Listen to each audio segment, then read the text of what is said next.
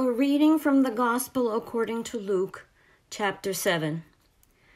After Jesus had finished all his sayings in the hearing of the people, he entered Capernaum.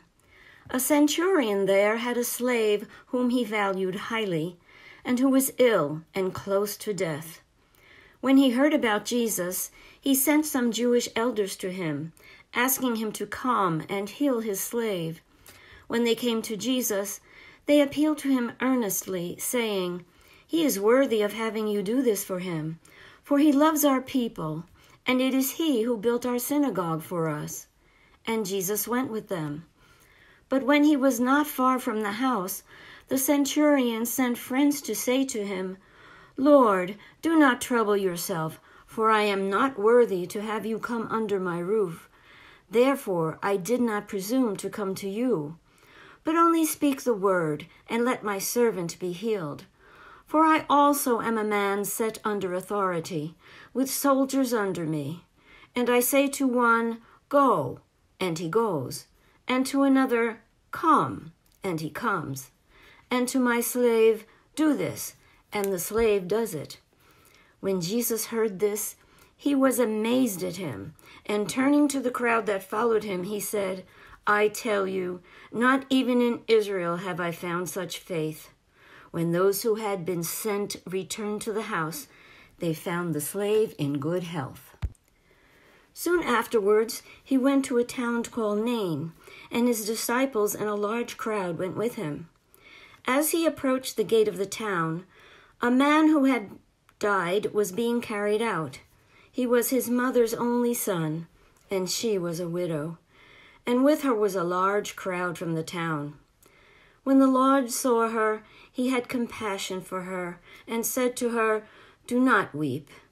Then he came forward and touched the bier, and the bearers stood still. And he said, Young man, I say to you, rise. The dead man sat up and began to speak, and Jesus gave him to his mother. Fear seized all of them and they glorified God, saying, A great prophet has risen among us, and God has looked favorably on his people. This word about him spread throughout Judea and all the surrounding country. The disciples of John reported all these things to him. So John summoned two of his disciples and sent them to the Lord to ask, Are you the one who is to come, or are we to wait for another? When the men had come to him, they said, John the Baptist has sent us to you to ask, Are you the one who is to come, or are we to wait for another? Jesus had just then cured many people of diseases, plagues, and evil spirits, and had given sight to many who were blind. And he answered them, Go and tell John what you have seen and heard.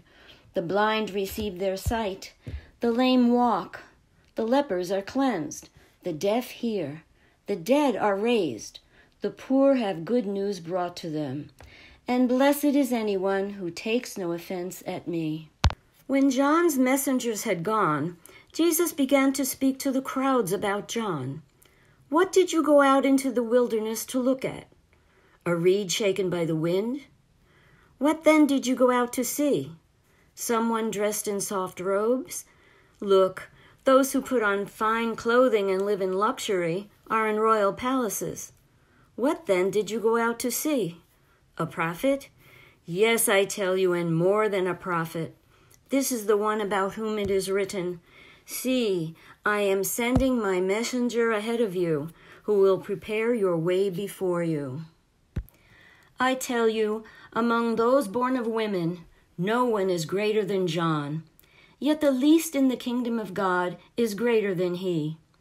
And all the people who heard this, including the tax collectors, acknowledged the justice of God, because they had been baptized with John's baptism.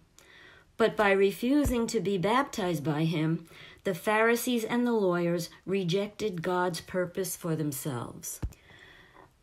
To what then will I compare the people of this generation? And what are they like?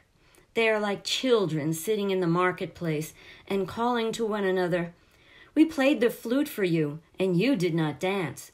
We wailed, and you did not weep.